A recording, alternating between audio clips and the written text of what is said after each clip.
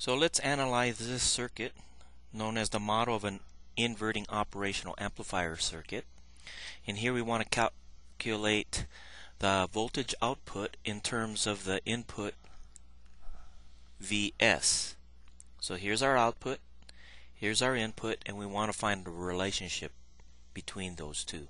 In other words, we want to evaluate the input-output relationship as a gain mu when mu becomes very large. Now the word inverting op amp, let me just give you a highlight of what that means. If I this signal is sinusoid and I put an input that looks like this and this starts at time t equals 0 we see that this is a sine wave this is time and this is voltage then the output will be inverted probably amplified a little bit since this is op amp amplifier and therefore you could see that whatever is positive here becomes negative here and what's negative here becomes positive here. That's what we mean by uh, inverting op amp in an earlier video we did an analysis where it was a linear combination and it was a non-inverting summer in which the output was not inverted when compared with the input. So how do we solve this circuit? Well the first thing we note at the input side of the circuit is that Vs and R1 can be transformed into a parallel combination such that we have Vs divided by R1 is in parallel with this resistor R1. So we did a source transformation from a voltage source in series with R1 to a current source that is in parallel with R1. Here we note now that R1 and R2 is in parallel. Now the control voltage Vx is equal to VA in which we denote this as a node A here and here and a node B here and here.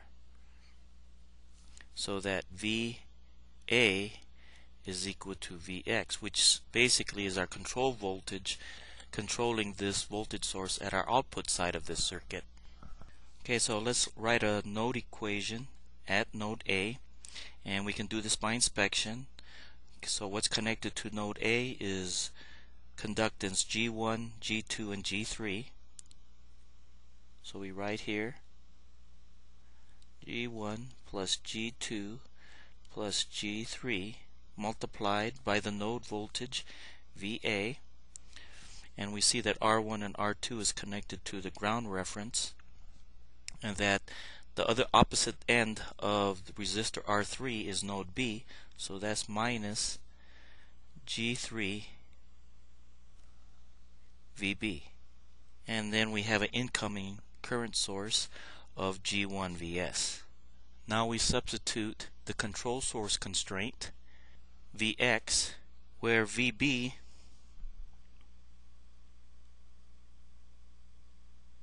is equal to mu Vx. And in this case we see it's an inversion, so we'll put a minus sign right here. Now VB is really equal to, when you see this, it's equal to VA. So it's minus mu VA.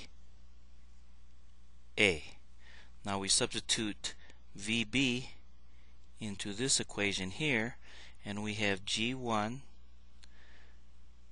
and then we note there's a VA here.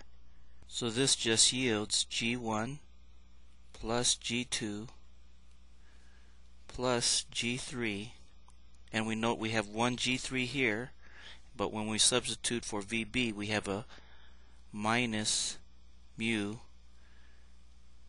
G3 the minus and the minus makes this a plus and this gets multiplied by VB I mean VA gets multiplied by VA and that's equal to G1 times VS.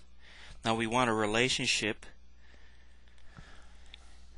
between VO and our input VS but we note that VO is equal to VB which is equal to minus mu VA and that VA here when we solve for VA, VO is equal to G1 all over G1 plus G2 plus G3 1 plus mu and this gets multiplied by Vs as our input. And we note the minus sign as well.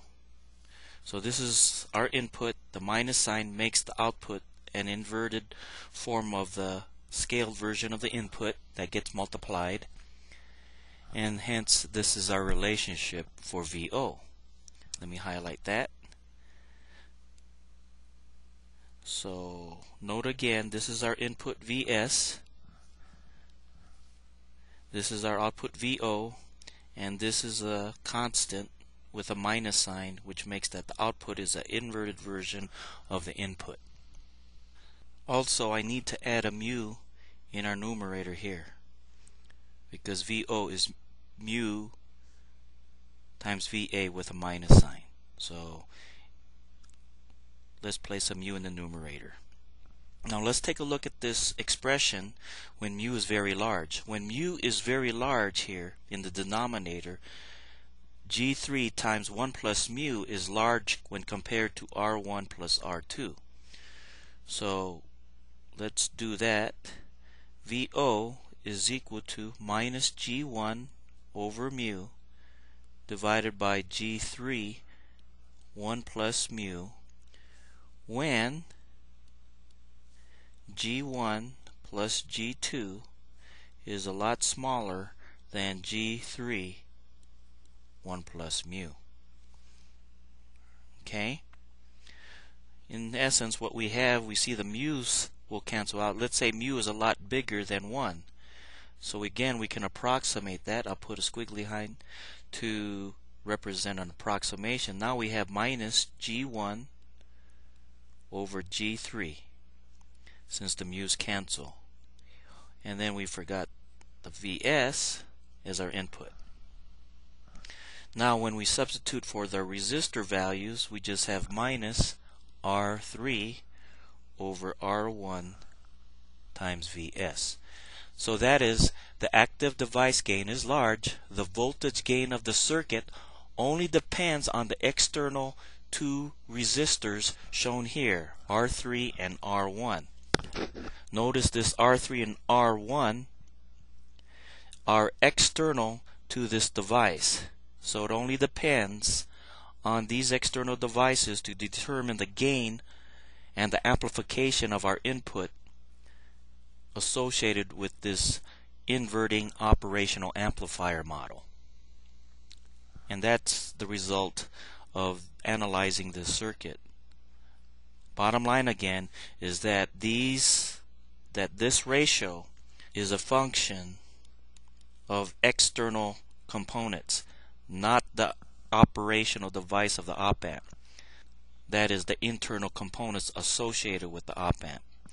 Because we here we assume a very large gain, and that what makes this unique so that the ratio is only a function of external components this case, for example, that's just R1 and R3. Let me highlight this. So VO is equal to the ratio with an inversion of R3 minus R1 times VS.